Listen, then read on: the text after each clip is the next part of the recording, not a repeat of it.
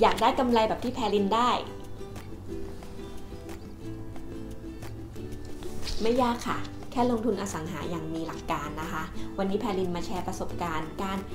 ลงทุนคอนโดมิเนียมนะคะ เก็งกำไรใบจองของแพรินนะคะ ก็มาเล่าให้เพื่อนๆฟังค่ะ ก็วันนี้นะคะมาเล่าประสบการณ์การเก็งกำไรใบจองนะคะ ที่แพรินพึ่งไปโอนกรรมสิทธิ์มาหมาดๆเลยนะคะ เมื่อกี้นี้นะคะเราก็มาอัดคลิปต่อนะคะเล่าให้ฟังว่าการเก็งกำไรใบจองเนี่ยจริงๆพอพูดคำว่าเก่งกำไรใบจองแพลินไม่ค่อยชอบยังไงไม่รู้แพลินรู้สึกว่ามันเหมือนหุ้นแบบถ้าเปรียบเทียบกับหุ้นนะนะเหมือนเล่นหุ้นไหมพอพูดคำนี้มันรู้สึกเหมือนอะไรที่มันฉับฉวย ฟลุกปะวะ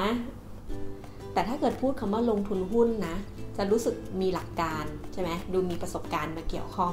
เพราะฉะนั้นแล้วจริง ๆ แล้วเนี่ยแพลินเนี่ยที่ทำคลิปขึ้นมา ก็อยากจะแชร์ประสบการณ์ แล้วก็อยากให้เพื่อนๆเนี่ยลงทุนอสังหานะคะอย่างมีหลักการแล้วก็ลงทุนอย่างมีมีการคิดวิเคราะห์มาอย่างดีนะคะ น้ำตาจะได้ไม่ต้องเช็ดหัวเข่านะคะ แล้วก็เป็น happy investor นะคะhappy ทั้ง mind นะคะก็มีจิตใจที่แบบ เพราะเราเลือกของมาอย่างดีแล้วเราก็จะถือครองมันอย่างมีความสุข แล้วก็ happy ทั้งเรื่องเงิน เพราะว่าการลงทุนนะคะ ก็สร้างผลตอบแทนให้เราด้วยนะคะ อันนี้นะคะก็คืออหนังสือโอนเปลี่ยนกรรมสิทธิ์นะคะ ซึ่ง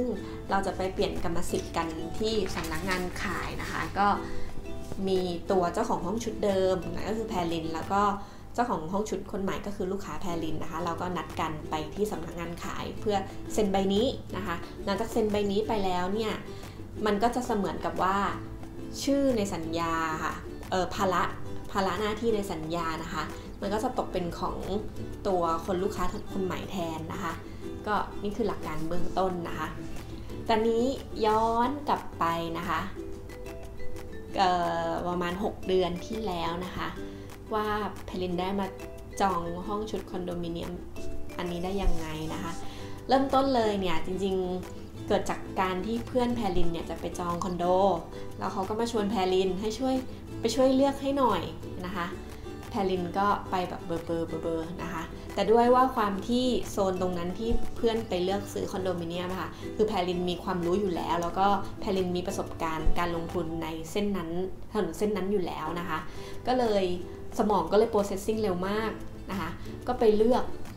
นะคะทำเลแพลินไม่ติดอยู่แล้วนะคะก็เหลือแค่ว่าไปเลือกห้องชุดที่ดีนะคะให้เพื่อนนะคะ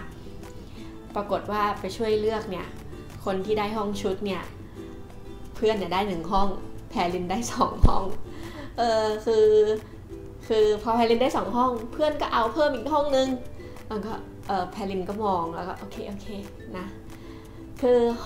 ตอนที่แพลินไปลงทุนนะคะแพลินก็ไม่ได้ไม่ได้ไม่ได้ตั้งใจเนาะจะไปซื้อ แต่บังเอิญว่าเฮ้ยแพลินไปสะดุดนะกับห้องที่แพลินลงทุนอันนี้แหละนะคะก็ตั้งใจว่าทั้งสองห้องเนี้ยก็อันนึงก็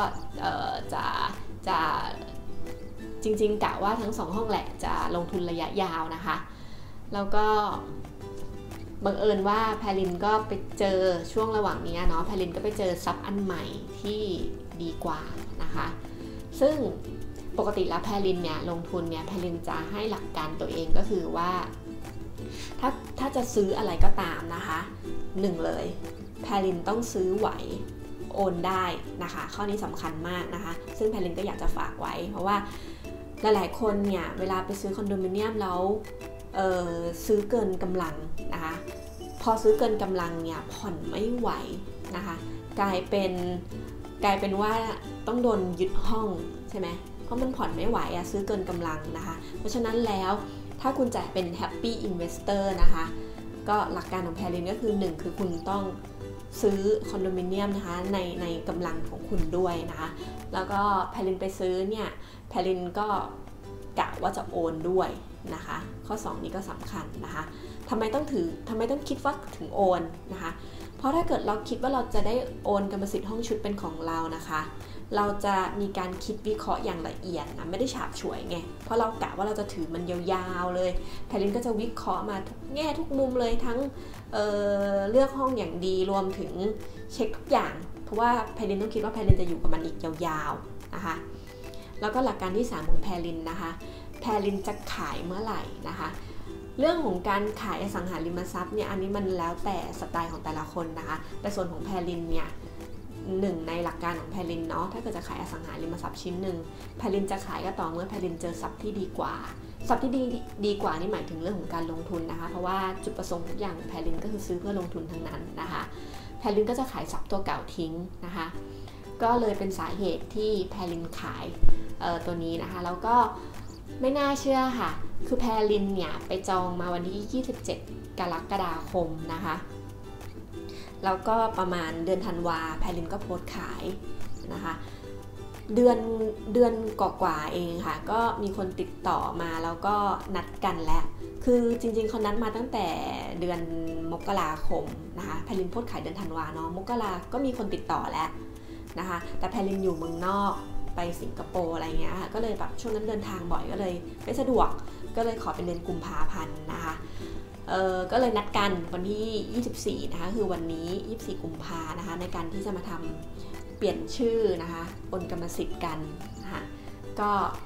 ดำเนินการให้ให้ลูกค้าเนี่ยเตรียมเตรียมเงินให้แพรลินนะคะ แล้วเราก็ไปทำสัญญาโอนกรรมสิทธิ์กันแพรลินเนี่ย ตอนตอนที่ตอนที่ขายเนาะแพรลินก็ถามเขาเพราะแพรลินอยากรู้ส่วนตัวว่าเฮ้ยทำไมเขาถึงทำไมเขาถึงมาซื้อห้องแพรลินนะคะเขาก็บอกเหมือนกันบอกว่า คือตอนนี้ห้องชุดคอนโดมิเนียมของโครงการดังกล่าวอะค่ะ ถึงแม้มันจะมีอยู่นะ แต่มันได้มีตำแหน่งที่แพรลินซื้อไว้แล้วนะคะแพรลินก็เฮ้ยเฮ้ยใช้ได้วะใช้ได้ คือแปลว่าอะไร มันเป็นทรายนะคะว่า แสดงว่าคุณเลือกซับได้ถูกนะคะ เพราะว่าห้องชุดดีๆอะแน่นอนมันก็ต้องไปไปก่อนนะคะ จนเป็นเหตุผลนะคะ ที่เขาอยากได้ห้องชุดตำแหน่งนั้นนะคะ แล้วห้องของโครงการมันไม่มีขาย เขาเลยต้องยอมที่จะมาซื้อกับแพรินนะคะ โดยยอมจ่ายส่วนต่างนะคะ หลังส่วนต่างราคาที่แพรินได้มาตั้งแต่วันพีเซลนะคะ เขาก็ยอมจ่ายส่วนต่างตรงนั้นทำให้แพรินได้กำไรนะคะ ก็ ถ้าเกิดใครจะลงทุนคอนโดมิเนียมนะคะ แล้วคุณอยากรู้ว่าห้องชุดของคุณเนี่ยคุณคุณคุณเลือกมาอย่างดีหรือเปล่านะคะ การเช็คแบบนี้ก็ได้นะคะว่าถ้าเกิดตำแหน่งของคุณนะคะ อุ้ยปั๊บเดียวหมด แสดงว่าคุณเลือกห้องที่ใช้ได้นะคะ เป็นห้องที่ดีเลยแหละนะคะ มันทุกคนถึงได้แย่งกันอยากได้ตำแหน่งนั้นไงคะ ก็เออก็ทำการโอนกลับมาที่ลูกค้านะคะ ก็ทำการโอนกรรมสิทธิ์กันนะคะ ก็ ที่สำนักงานขายไม่มีอะไร เราก็ส่งมอบสัญญาให้ลูกค้านะคะ เพราะลูกค้าจะเป็นเจ้าของห้องคนตัดไป